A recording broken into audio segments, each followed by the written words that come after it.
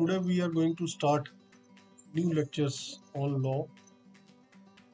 Firstly, we will start lectures on CPC. CPC is considered to be a most difficult subject on the law. Every student fears studying Code of Civil Procedure. However, Code of Civil Procedure is a very simple, scientific, and easy law to understand. The thing is that it is divided into various sections, orders, rules, appendix, etc. This is a unique act in which there are sections as well as orders.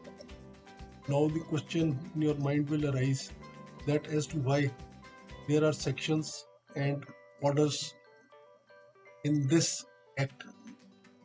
Sections are the substantive law laid down on the subject because in the sections the power is given. Without sections there cannot be any act.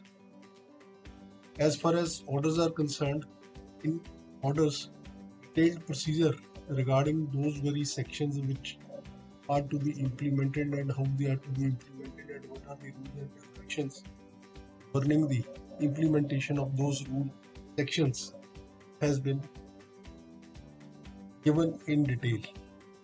In case there was sections only and there were no rules divided into various orders, then it would have been very difficult for a student to understand the law because the number of sections would have been in thousands. So the legislature, in its wisdom, at that very juncture when it was laid down, had divided the Code of Civil Procedure in various sections as well as the laws. Before starting with the sections and the law, I would like to introduce myself. My name is Ajay Kumar Jindal. I am practicing on civil side in District Court Ludhiana. I have taught CPC, Code of Civil Procedure, Punjab University Regional Center for seven years. I did my LLM, Masters of Law from Punjab University, Chandigarh, in the year 1978. I have an experience of around 43 years of advocacy on purely on civil side in district courts. So I am I think that I am competent enough to discuss the provisions of CPC with you. My students who have who have been attending my classes have always found that CPC is the most easy subject, whereas the students from other universities always used to fear that CPC is a very difficult subject because nothing is difficult or nothing is easy. Depends upon the person who is teaching you the law, who is explaining the law to you.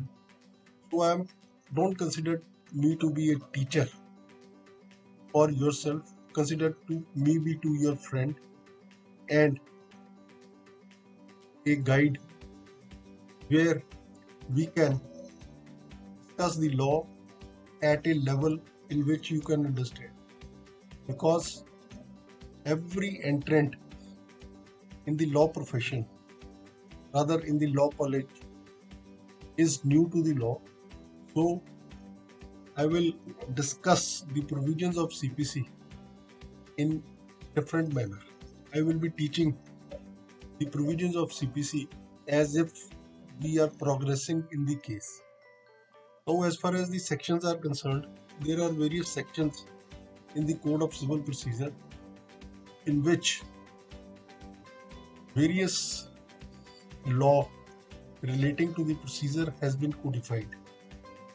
Each section or group of sections have been given under different chapters.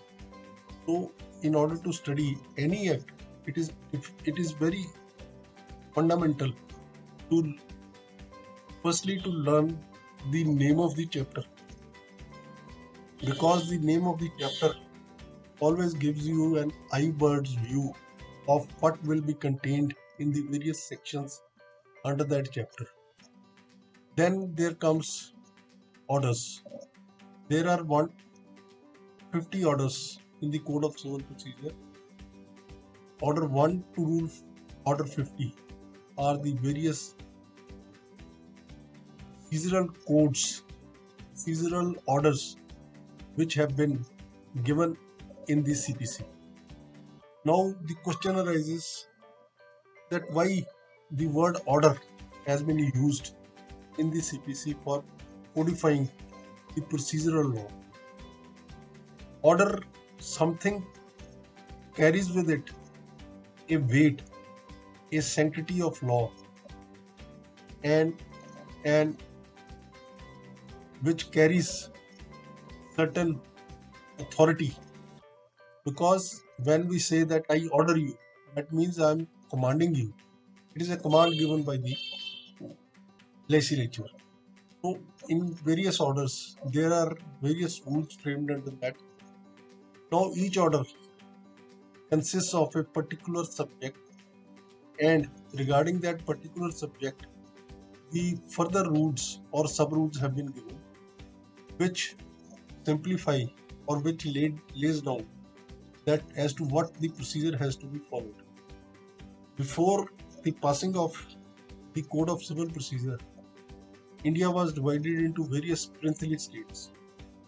There was various rulers, kings, nawabs, etc. Every kingdom or every state has its own law. There was no codified law of procedure under which the justice could have been given. So the Britishers, in order to specify as to what should be the procedure, has thought it fit to lay down the Code of Civil Procedure or to legislate, legislate regarding the Code of Civil Procedure. Because unless and until you know that know the fact that in what under what procedure you are going to be right? Or what is the procedure or what are the remedies available to you under particular law? You will not be able to justify or you will not be able to say anything regarding the subject matter of litigation. So in this keeping in this view in mind a unified code of civil procedure was defined and codified by the britishers it may be mentioned here that Code of Civil Procedure is such a law which is universally applicable throughout India. Various provisions have been made, various high courts have been provided under the Constitution of India. Every high court has been given the powers to legislate and formulate high court orders and rules which are peculiar to the facts and circumstances of the case because India as a whole is a state which is diversified into various cultures, traditions, customs, etc. So, some particular customs or rules are applicable to each and every state. So, power has been given to every High Court lay down the procedure for itself in the form of High Court orders and rules. And every High Court has provided or has formulated High Court orders and rules under which it can be it can lay down the procedure governing the working of the civil courts in particular. So under the Code of Civil Procedure. It is such an unique code which gives you a total insight of the procedure procedural law in the civil code. In a recent judgment of the Honorable Supreme Court of India, it has been held that this code has been in force for more than a century. So it is no longer a procedural law, but it has assumed the character of a substantive law. So procedure cannot be procedure laid down in the CPC cannot be considered to be only procedural, but it is substantive law also as per the full bench judgment of the Supreme Court of India. So once it is a substantive law, that means the provisions of CPC are to be applied with the same vigor and force with which the other provisions of any other act are to be made applicable. So in this scenario, it becomes a duty on our part to understand the code of civil procedure and unless and until we are well conversant with the procedural law, every new entrant to the profession will find it very difficult to conduct a case and to know that what is the procedure provided under the act by which he can conduct his own case or he can provide any guidance or assistance to the court. Because the court will always inquire from the advocate regarding the procedure as to what has to be done or what is the interpretation of a particular section or in a peculiar facts and circumstances of the case what has to be done and what cannot be done. So mastery of code of civil procedure as well as the indian evidence act is a must for a practicing lawyer who is who intends to practice on the civil side. So this was only an introductory lecture. In the next lecture i will be discussing with you that how the case progresses from where the case progresses and in what manner the case is being fought at every stage and what are the procedural law and how you can understand that what are the orders and rules contained in the act. Thank you.